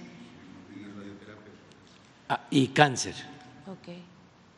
O sea, en cualquiera, para aprovechar toda la infraestructura. De, salud. Porque eh, puede ser que haya hemodiálisis en una clínica del ISTE y no del seguro, pero que puedan este, los que requieren la hemodiálisis eh, puedan asistir a esa clínica. Eh, eh, todo esto buscando hacia adelante que se integren todos los servicios, que mejoren todos los servicios.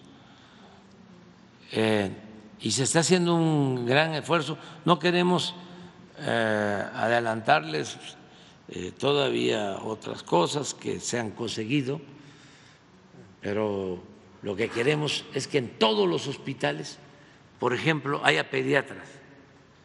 Yo recuerdo que cuando inició el gobierno, mi propósito era esto que estamos haciendo desde el inicio. Y comencé el gobierno visitando los 80 hospitales del IMSS Bienestar. Y recuerdo muy bien que en esas visitas hay tres hospitales del IMSS Bienestar en Yucatán y en ninguno de los tres había pediatra. E incluso eh, estaba la vacante y siguen estando vacantes, pero no se tiene a los pediatras. Y así otras especialidades. Entonces ahora estamos haciendo un esfuerzo para cubrir todo con los especialistas en el tema de salud. Y para eso fue la reunión de ayer con los gobernadores, que nos están ayudando muchísimo. Ok, gracias. Sí, el calendario, como vamos a estar cada 15 días, les va a ir este, informando eh, tanto el doctor Alcocer como Zoe, pero la idea es que el día 4, 5 y 6 de junio, ya pasando la elección, vamos a dispersar todos los fondos para 11 mil comités de salud de los 11 mil centros de salud. Los comités de salud están integrados por la gente de las comunidades, de las colonias, de los pueblos.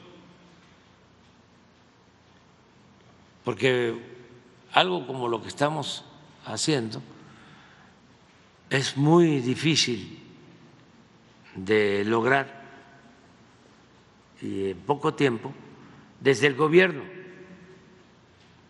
El gobierno no estaba hecho para servir al pueblo. El gobierno durante el periodo neoliberal era un facilitador de la corrupción. Por eso les pagaban muy bien a los altos funcionarios públicos. ¿Para qué le pagan 700 mil pesos a un ministro? Imagínense. Entonces, los altos funcionarios públicos estaban colmados de atenciones, de privilegios, porque eran los que autorizaban todo y permitían el saqueo. Entonces, quedaron esas estructuras. ¿Se acuerdan que yo hablaba al principio de que habíamos heredado un elefante? reumático, echado, mañoso, y que había que pararlo, que empezar a caminar. Pues ya está caminando. Pero de todas maneras se necesita del apoyo del pueblo. Democracia es el gobierno del pueblo para el pueblo y con el pueblo. Y hemos eh, probado que con el apoyo de la gente se avanza más y que el pueblo de México es honesto. La mayor riqueza de México es la honestidad de su pueblo. Imagínense cómo hacer. 300 caminos. En Oaxaca. Si no es con las manos de las mujeres y de los hombres de Oaxaca. Y con las autoridades de usos y costumbres, que lo que hacemos es entregarles el dinero y no hemos tenido ningún caso de corrupción. Y son 300 caminos. Vamos a tener en el país 400 caminos así, hechos por la gente, bien hechos, obras de arte, son sus caminos. No es una empresa constructora, ojalá y fuese constructora, contratista, es distinto. Que llega eh, a hacer una obra para que aguante entrega, porque ya dio un soborno, un moche, y nada más pintó el camino. Y vienen las lluvias ya se volvió el camino de nuevo de terracería. No, este es su camino bien hecho, de concreto, con alcantarillas, con obras hidráulicas, con puentes. Entonces, eso nos funcionó muy bien. Otra cosa que nos ha funcionado muy bien es la escuela es nuestra. Imagínense cómo se le da mantenimiento a cerca de 200 mil escuelas nada más de nivel básico. ¿Cuántas compañías contratistas? ¿Cuánto tiradero? ¿Cuánto robadero? ¿Qué se hizo?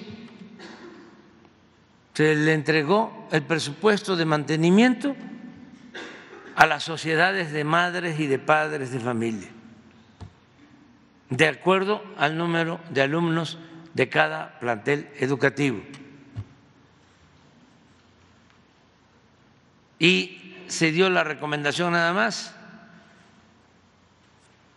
respetuosa de que se escogieran mujeres como tesoreras.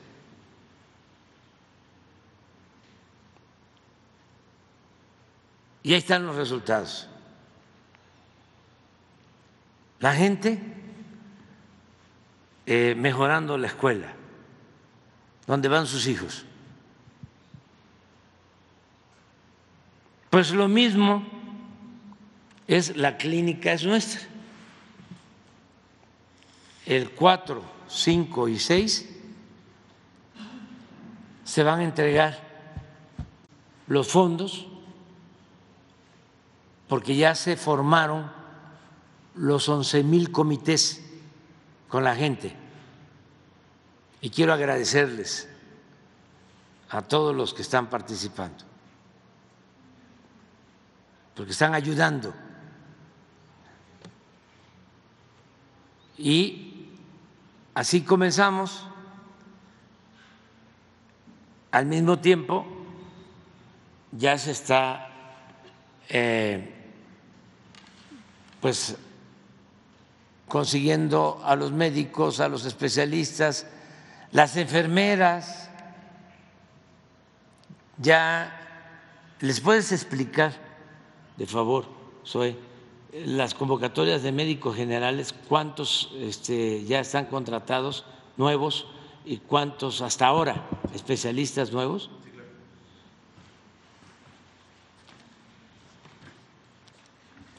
Sí, con mucho gusto, señor presidente.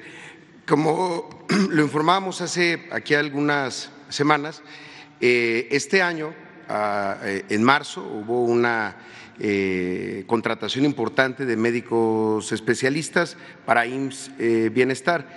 Esa primera etapa de, marzo consistió en que Una vez que se gradúan los médicos especialistas de las residencias, en este caso de las residencias de, del IMSS, pues la, institución busca reclutarlos. Pero también abrimos la posibilidad que se pudieran contratar ahí médicos especialistas para IMSS Bienestar, porque les eh, conviniera más eh, la oferta por el lugar del hospital o cosas así. Y después de eso hicimos una convocatoria para médicas y médicos especialistas, pero de las especialidades más necesarias, como lo decía aquí el presidente, pediatría, ginecología, cirugía, anestesia, médicos eh, internistas eh, también. De esa convocatoria eh, se lograron contratar y se verificaron todos los datos y demás, ya están eh, contratados 1.800 médicos especialistas adicionales que están yendo ya a todos estos hospitales, pero fundamentalmente son hospitales comunitarios básicos y estas contrataciones van acompañadas de un bono de 10 mil pesos para estos médicos, que eran plazas de, eh, se les llama de difícil cobertura. ¿Qué significa eso? Que salía la convocatoria año tras año, año tras año y no, no había quien optara por ella. Eso es en cuanto a médicos especialistas. Aún así, tenemos eh, dos mil vacantes que se están buscando eh, contratar de otras, de otras maneras. La parte de médicos generales, como ustedes saben, pues una persona eh, hace su carrera, su licenciatura de, durante seis años de medicina general y muchos de ellos o están preparándose para hacer el examen de residencias por alguna especialidad o simplemente quieren ser médicos generales. Y ahí salimos a contratar a cerca de 5 mil. Los enfocamos en centros de salud, es decir, en el primer nivel de atención, pero en centros de salud que no tuvieran cobertura de lunes a domingo o de plano que no tuvieran médico, que no tuvieran personal, eh, un médico una médica general atendiendo ahí. De esos también se, se lograron eh, contratar casi, eh, casi 4 mil que están empezando ya a, a, llegar ahora a estas unidades para tener la cobertura de lunes a, a domingo. Es decir, todos los, los, centros de salud, desde los de un consultorio, que son los más pequeñitos, tendrán ya dos médicos generales. ¿Con qué propósito? Que puedan atender eh, eh, uno de lunes a, a, a, viernes, el otro de miércoles a domingo por la tarde, pero también que les permita algo que es importante en el modelo del IMSS Bienestar, la salida de los médicos a centros de salud, a las comunidades, a localidades de acción intensiva, como se les llama, para hacer búsqueda intencionada de, casos, identificar mujeres embarazadas, es decir, un trabajo mucho más territorial. Entonces, con eso tendremos la cobertura en primer nivel de lunes a, domingo. Y además están las otras convocatorias, como las que mencionábamos, de enfermería, tanto de enfermera especialista, que es en la que estamos ahora, y pronto abriremos la de enfermera general y auxiliar de enfermería también para el primer nivel de atención. los faltantes nuevos hospitales? No, en algunos eh, todavía la parte de nuevos hospitales, algunos son, son, sustituciones, es decir, son hospitales que están sustituyendo a otro hospital. El, caso quizá más grande, Lorán, por ejemplo, que comentaba el, presidente López Obrador, ese es un hospital de sustitución, está creciendo en servicios, va a necesitar una plantilla adicional, pero ya tiene a la población estaba contratada. El hospital de aquí de Zaragoza, el de, el de Iztapalapa, ya existía, es eh, reubicarlos para que estén otra vez en el hospital o en Puebla. Eh, esos, vaya, no tienen necesidad de mayor eh, plantilla. De los otros, de los hospitales nuevos, en muchos casos ya se han hecho convocatorias porque está ya próximo a entrar en, en operaciones, pero estos son de hospitales actuales.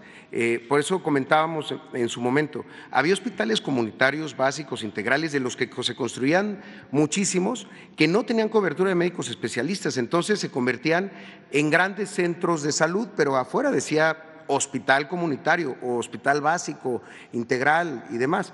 Entonces, esta, esta cobertura que hicimos tan grande va a permitir que esos hospitales hagan lo que tiene que hacer un hospital, que ahí ocurran cirugías, ahí ocurran partos, ahí ocurran eh, consultas de, de, estas especialidades que son las troncales, las, las, las fundamentales.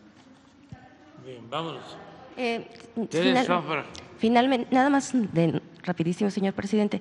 Eh, Una denuncia rápida. En, aquí en la alcaldía Benito Juárez, en la calle de este, en la calle de Cumbres de Maltrata 318, eh, los vecinos están denunciando que em, hay una construcción irregular, una construcción a la que les está haciendo daño ya a las eh, viviendas aledañas y eh, los vecinos han ido a la alcaldía a denunciar que ya están afectadas sus viviendas y pues en la alcaldía les han dicho que que pues está en proceso, que están en observación, que porque son tiempos electorales, que pues no se les puede dar tampoco la atención y bueno, infinidad de cosas, pero pues la gente, eh, los vecinos están muy em, ya preocupados por sus patrimonios.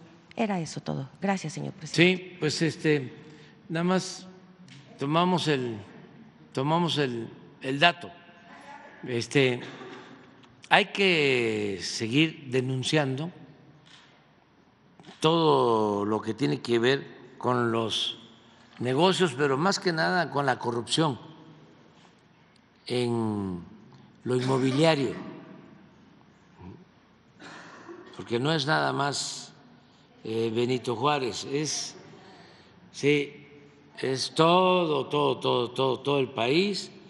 Ah, cada vez que voy a Veracruz me da muchísimo coraje ver el la defecio ese que hicieron en el centro histórico. Pon la foto de la defecio. Voy a ir allá a ponerle su nombre ahí. Eh, la defecio se va a llamar. Este no, pero este mis paisanos yo creo que sí le van a, a llamar así pura influencia, ¿eh? pura corrupción de autoridades, de este, jueces, pseudo empresarios. Miren eso, en el malecón. ¿Cómo dieron ese permiso? Y amparos y amparos y amparos, pero los jueces están involucrados hay un eh, cartel inmobiliario. O sea, no crean que es nada más aquí. Y en Quintana Roo, lo mismo, y en todos lados. Ah, bueno, Vallarta, que viene aquí la señora Susana. Entonces, este es un asunto no nuevo. En la novela de Fuentes, del finado Carlos Fuentes, la región más transparente, se habla de cómo un revolucionario del norte se viene a la capital cuando empiezan a construir las obras viales y con información privilegiada, como sabía dónde iban a hacer el periférico, empiezan a, comprar terrenos y luego hacen las obras, meten los servicios y él vende, ¿no? obtiene pues toda la plusvalía de ese desarrollo urbano. Creo que el personaje se tenía de apellido Robles. Luego se volvió hasta banquero, este personaje de la novela. Pero así se hizo inmensamente rico. Y sigue ese negocio este, inmobiliario. Porque por cada piso, pues es una cantidad adicional, es Moche, que es una asociación delictuosa que se forma Entonces, eso hay que desaparecerlo. En todos lados. Y vamos a dejar nosotros también, eso es importante, planes de desarrollo urbano por municipios. Eh, bastantes planes, pero no vamos a alcanzar a tener en todos los municipios. Pero eso es una asignatura que va a quedar pendiente para seguir este, construyendo, elaborando los planes. Solo, por ejemplo, una ciudad turística en donde eh, se decide que no van a haber edificios de más de cuatro pisos, este, les ayuda mucho. Pero con todo respeto, eh, ¿quieres ver edificios? Pues con todo respeto, vete a Miami, ¿no? Pero si lo que quieres es naturaleza, mar, selva, pues esto no.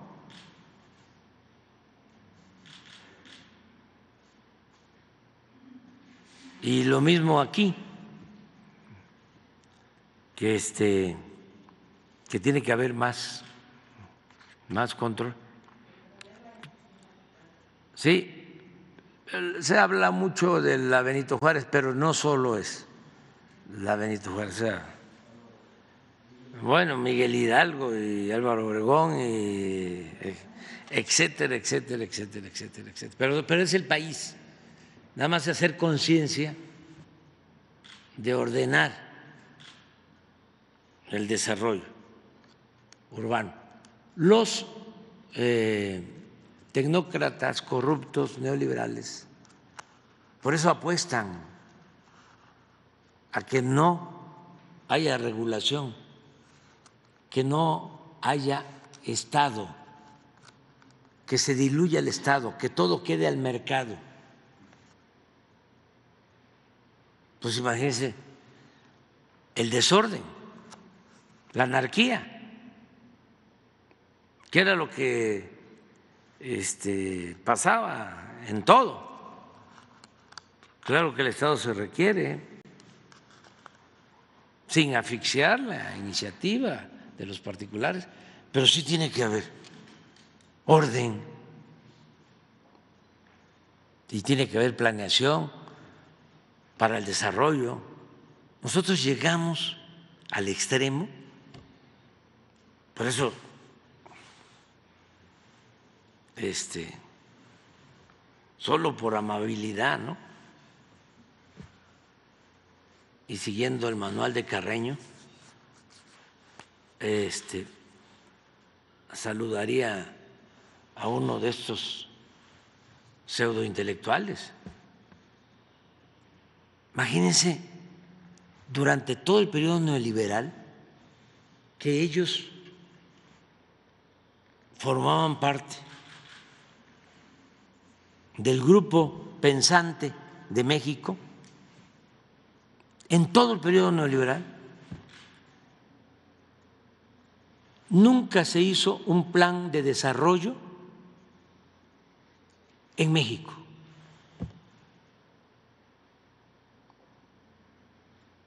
con nuestras necesidades, con nuestra realidad. Siempre nos impusieron desde el extranjero los planes de desarrollo. Siempre las cartas de intención, las reformas llamadas estructurales. ¿Y dónde estaban esos pseudointelectuales? Es la primera vez en décadas que se tiene un plan de desarrollo propio.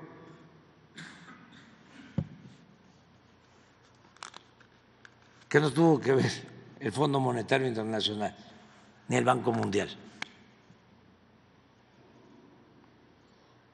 Y es una agenda que se cumple a partir de las necesidades del pueblo de México.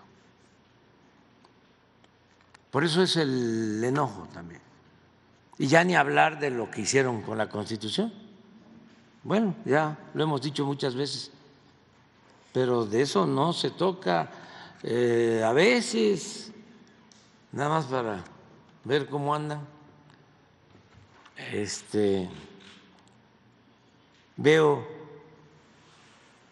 a los comentaristas de Televisa, sabiondos, expertos, nada más para eh, saber cómo, cómo están tramando cosas en contra de nosotros, porque tengo que estar con un ojo al gato y otro al garabato. Eh, pero los temas que tienen que ver con el desarrollo del país, que tienen que ver con el mejoramiento de las condiciones de vida del pueblo de México, no los tratan. No está en la agenda. Y así es en general. Entonces, por eso qué bueno que existen las mañaneras, aun cuando solo duren 24 horas, porque nos este, eh, autolimitamos, no nos autocensuramos, nos autolimitamos. Vámonos a desayunar ya. Ya, ya, ya. Queda pendiente. Uno, uno.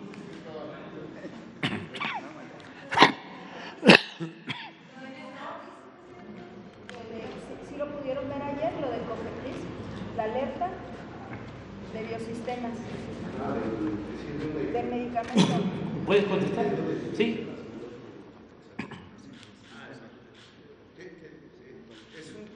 A ver. Sí, es. En el 29 de abril, me parece, este, el 30 de abril, el eh, COFEPRIS emitió una, una alerta eh, sobre un producto oncológico, un metrotexato este, que se había adquirido en la compra del año pasado, que todavía hizo el, INSABI. E, esto es algo muy regular y lo, y lo bueno, lo positivo es que eh, COFEPRIS lo está difundiendo de manera muy intensa, porque no significa, o sea, si, se encuentra algún lote que tenga algún, algún problema, empieza su investigación y ya después COFEPRIS eh, informa si se puede seguir este, suministrando para la institución que lo hubiera adquirido. Fue parte de una de las compras este, consolidadas. Es un producto, si no me equivoco, creo que es de la India, este, y se encontró algún lote. COFEPRIS solamente lo que hace es notifica a las instituciones, en este caso, por ejemplo, al IMSS Bienestar, al IMSS, eh, al ISTE, porque fue parte de la consolidada, para que no se suministre hasta que nuevamente informe COFEPRIS. ¿Cuál, es lo, positivo? De esto siempre se hace como grandes este, alarcas, como si fuera algo este, muy irregular. Es parte de la este, vigilancia que hace una institución reguladora como COFEPRIS. Y lo que ahora sí ocurre es que nos informa muy rápido y también cuando se determina su uso se vuelve a, determinar. Este, pero eso fue lo que ocurrió. Eh, fue de una, insisto, de una compra del año pasado de un producto oncológico. Sí, a esta empresa este, Biosistemas, pero la, la, producción no es este, de esa empresa, no es, no, es, un laboratorio nacional, es una empresa que seguramente se, salió a comprar en muchas de las compras que se hicieron al extranjero.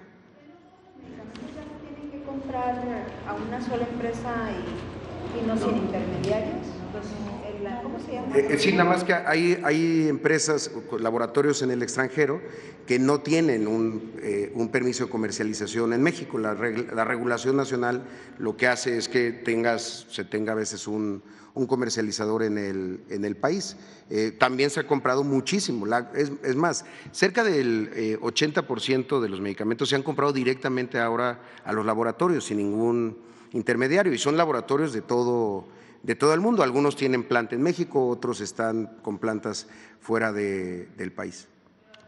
¿Esa alerta de casi 200 eh, en la página? No, eh, alerta de un lote de un medicamento específico. laboratorios a los que les está recomendando a la, a la, la, la, la de Cofepris que usted menciona, del metrotexato, es un medicamento en una presentación para un caso nada más. Bueno, vámonos a, a desayunar. ¿Eh?